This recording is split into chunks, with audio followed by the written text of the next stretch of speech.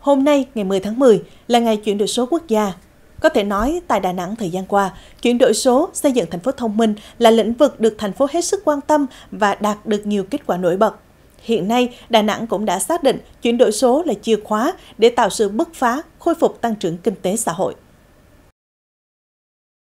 Vừa qua, thành phố Đà Nẵng vinh dự lần thứ ba liên tiếp đạt giải thưởng chuyển đổi số Việt Nam 2022 ở hạng mục cơ quan nhà nước chuyển đổi số xuất sắc với sản phẩm nền tảng công dân số thành phố Đà Nẵng. Nền tảng này do người dân đăng ký và được hệ thống cấp phát tài khoản nhằm tích hợp đồng bộ lưu trữ trong quá trình người dân sử dụng dịch vụ công. Mỗi người dân có một mã QR duy nhất theo chuẩn quốc gia, các thông tin được mã hóa để sử dụng trong các giao dịch dịch vụ công như dịch vụ với chính quyền, doanh nghiệp, điện, nước, môi trường, y tế, giáo dục, ngân hàng, kiểm soát vào ra. Đây tiếp tục là bước đi cụ thể của thành phố Đà Nẵng trong việc xây dựng thành phố thông minh theo lộ trình đã đề ra, trong đó công dân thông minh chính là một trụ cột được ưu tiên triển khai. Đối với cái việc à, làm sao để rằng là ngày càng thỏa mãn nhiều hơn cái yêu cầu từ phía tổ chức công dân trong công tác quản lý phát triển xã hội. Trong đó cái việc xây dựng thành phố thông minh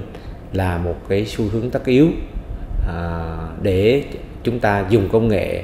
để làm sao phát triển mang tính chất bền vững hơn dựa trên các cái quy hoạch đô thị dựa trên các cái công nghệ để làm làm sao đó là làm quản lý làm sao thỏa mãn ở người dân một cách tốt nhất.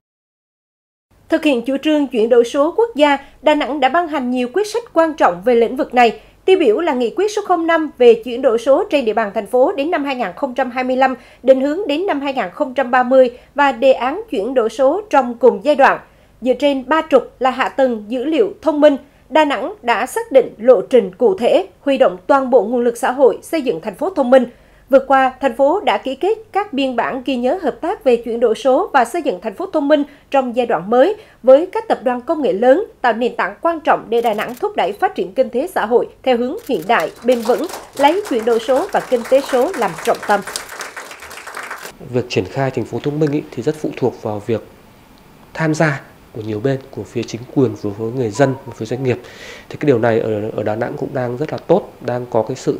uh, quan tâm rất lớn từ cả ba phía về cái uh, đề án này chúng ta thấy rằng với sự quyết tâm uh, của lãnh đạo thành phố uh, với hạ tầng công nghệ thông tin hoàn chỉnh uh, với sự đồng hành của doanh nghiệp uh, và người dân thì uh, chúng tôi tin tưởng rằng uh, quá trình chuyển đổi số của thành phố Đà Nẵng trong thời gian đến chắc chắn sẽ thành công trong thời gian sớm nhất. Hiện nay, Đà Nẵng đã đặt mục tiêu đến năm 2030 sẽ hoàn thành xây dựng đô thị thông minh, kết nối đồng bộ với các mạng lưới đô thị thông minh trong nước và khu vực ASEAN. Cùng với đó, thành phố cũng phấn đấu nằm trong top 3 địa phương dẫn đầu về chuyển đổi số và về an toàn thông tin thương mại điện tử của cả nước vào năm 2030.